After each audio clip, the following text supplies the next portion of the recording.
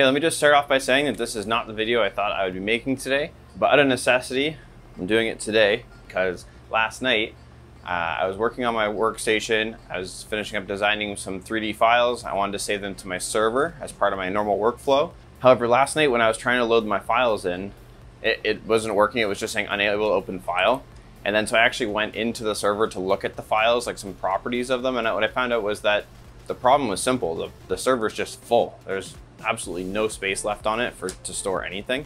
So um, all my work is kind of halted right now because I can't save things to my server. And yes, I could start saving things to my regular workstation on the hard drive, like locally. That's not ideal because now I'm gonna have files in two different places and so here we are today. This is gonna be my new storage server. It might not just be for storage. I have a couple other ideas of um, some virtualization stuff I might wanna do, but right now the most important thing is just expanding my, my network attached storage.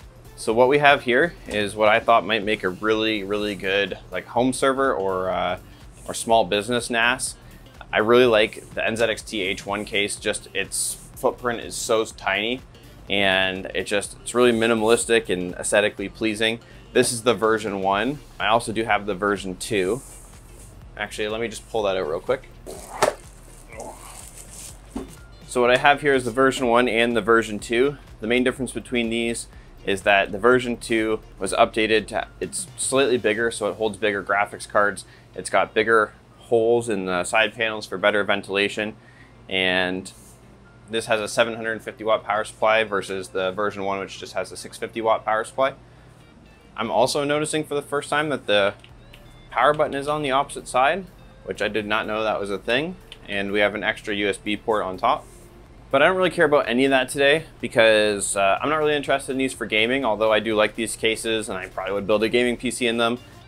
I want to put five three and a half inch hard drives uh, into these. And the reason why I have version one and version two was because the drive cages that I'm designing and building, I would like them to fit in version 1 and version 2 because there's more version 1s uh, out in the wild right now, especially used. You can pick these up cheap. And the version 2s, although they're expensive because you can really only find them new, they're still manufacturing these today. So it would be cool if these drives fit both cases. So we'll figure that out as we build mine into the version 1. I do have other plans for the version 2 in the future, so it's that old pitch, get subscribed and you can see what I build in this.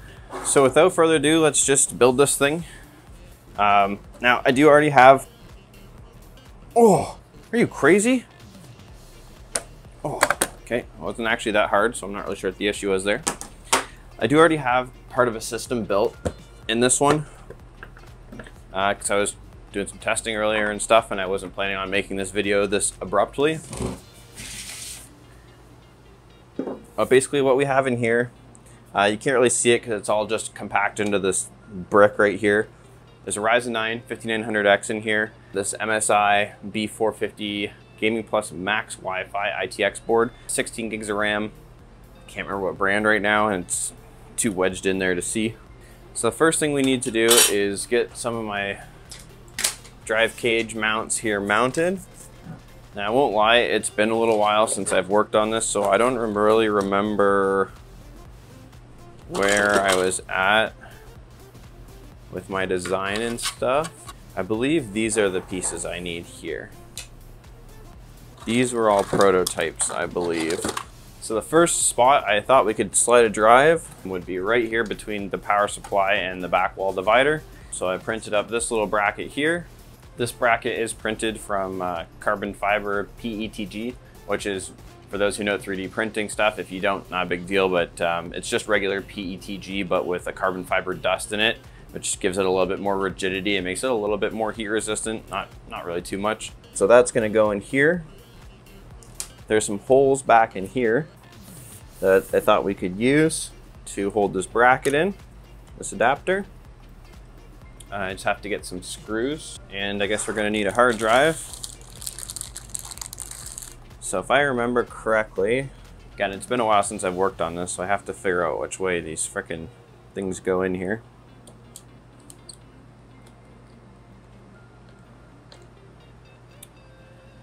And then this will slide in this way.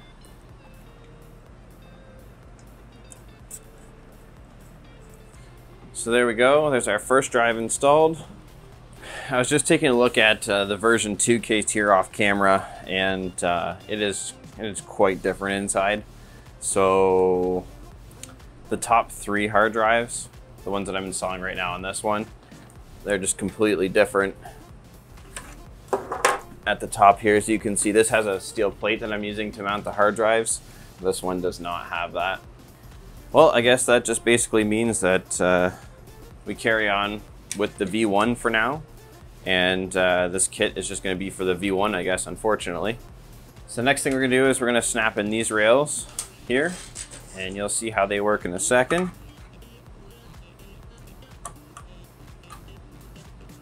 And we'll need another hard drive. Need some screws. Now I know at least one person out there is wondering why some of these brackets are white, some are black. The idea is to print them all in the black, which is the carbon fiber PETG. It's strong, durable, heat resistant.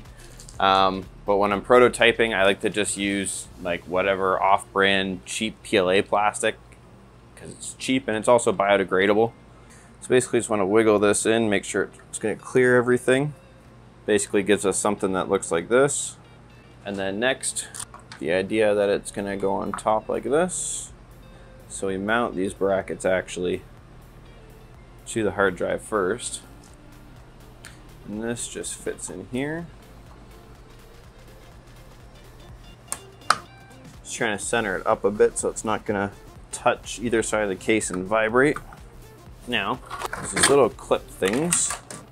One, two, three, and four. These little clip guys go down in here and they hook around the back of the motherboard case and uh, hold those in place. A couple screws.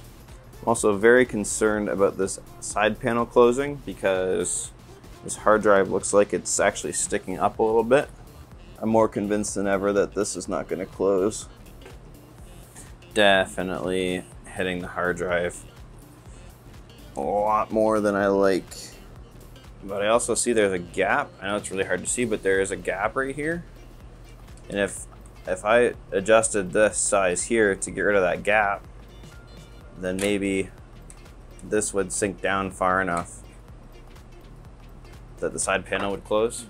Okay, maybe no side panel for this thing for now. Because I definitely have to adjust that. That's what I mean. This wasn't quite 100% done. I would have liked to actually have this all fitting 100% before I was building this thing, but it's the way it is sometimes. All right, so our, our next piece here is gonna hold two more hard drives. It's this bottom cage. This is gonna slot into the GPU slot down here and hold two more hard drives. So first things we need to do is mount two more hard drives in here.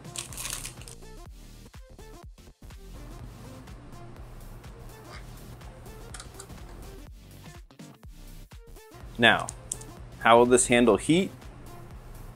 I don't know.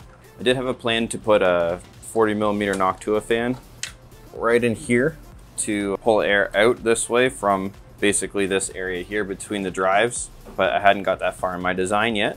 And now that I know this doesn't fit the version 2 really, it's to be tougher for me to justify, I think, spending any more time on it. I've already spent hours and hours and hours on this, but uh, that's what five hard drives looks like in a NZXT-H1 version 1. But I am missing a SATA cable, so powering these drives, uh, let's see here. I got this cable, which will do two drives. So we'll just do one and two.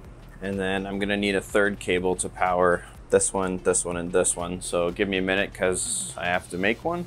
I feel like some sort of barber or something.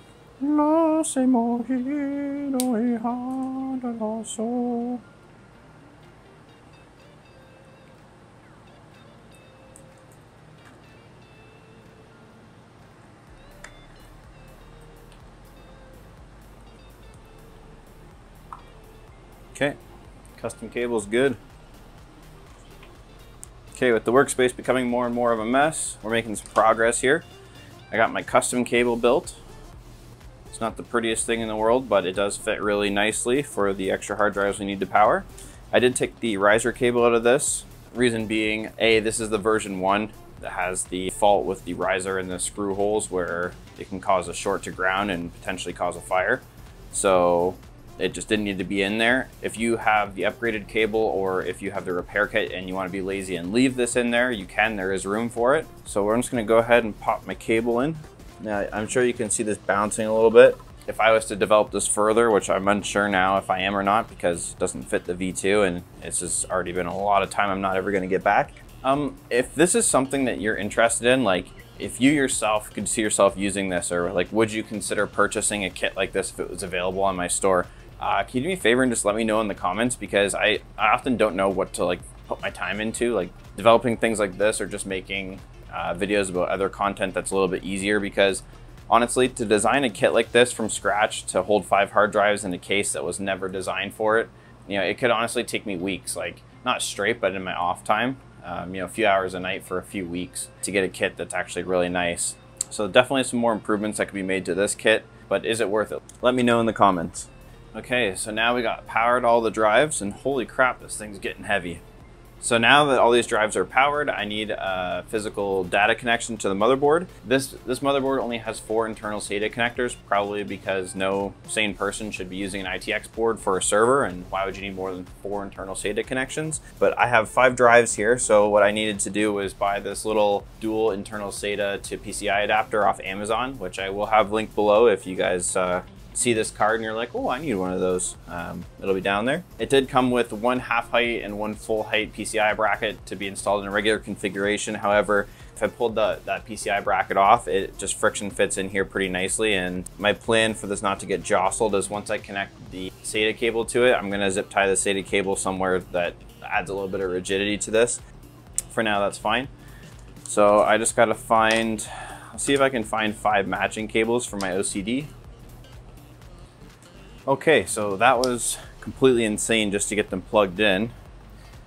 And now I have to somehow figure out a way to get this cable managed. Okay, so this thing in theory is all wired up and good to go, so give me like half an hour to clean this mess up and I'll be back. okay, we're back. Man, I am so grateful that I decided to pick up a portable AC for in here because I would be dying right now uh, without it. So it's back assembled as much as possible. Like I said, I can't slide this cover on because it's hitting this one hard drive that's sticking up. I need to modify that one bracket, but that's okay for now. Now, I think I already installed TrueNAS on this when I was uh, playing around with it. I guess it was, started this over a month ago maybe, so I don't really remember. But I believe TrueNAS is installed on this. So my plan here is to plug the ethernet in, plug power in. Oh, apparently just like that, it's on. I must have it set in the BIOS to automatically turn on. So now I'm just gonna let this thing run for a few minutes. Hopefully my router assigns it an IP address and I can see it on the app on my phone and then uh, we can log in hopefully and see if all the drives are connected. Okay, well that was a great idea in theory, but in reality, that didn't work, so I need a GPU or something so I can see what this thing is trying to output. Okay, can I sneak this in here? No. So I'm gonna put this riser back in so I can try to get a display out to see what this thing is doing. Okay, TrueNAS is on this.